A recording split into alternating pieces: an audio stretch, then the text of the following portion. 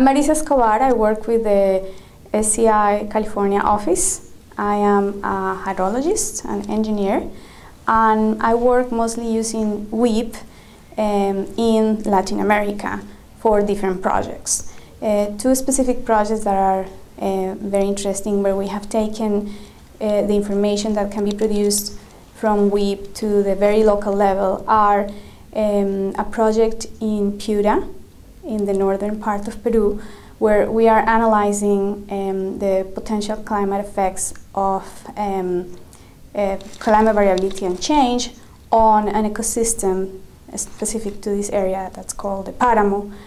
Uh, it's specific to the Andes in general. And there are some communities that live very close to uh, the Paramo. And they want, they've been um, through other organizations that have used monitoring uh, equipment in this, in this area to understand also the hydrology of the paramos. Um, they are very curious to know what could happen, so they've been involved in the process of the monitoring. They are supporting the process, but um, they are very interested in knowing uh, what could happen. Uh, and we believe that um, this information can be very useful. We've had meetings with them, they have expressed this interest and, and also support for what we are doing. But I think that at that level, we can definitely uh, get to answer some of those questions, like what could be the effects of um, uh, changing precipitation and temperature patterns on the water that's available and coming from the Paramo downstream. So that's one of the cases. Uh, the other case is in the Rio Santa, also in Peru, uh, which is where there's the largest concentration of glaciers, tropical glaciers, um, in the world. And um, there are many communities also that live downstream from the glaciers.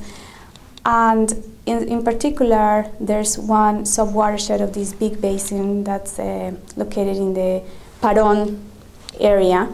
There's a lake that's managed for hydropower downstream, but there are also many communities up there that have canals uh, that bring the water for agriculture.